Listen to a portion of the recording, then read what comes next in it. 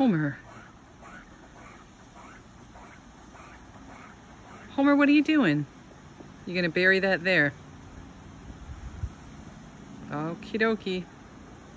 Hi. Is that a good spot to bury your bone? All right, I don't think anyone will find it. Pretty good.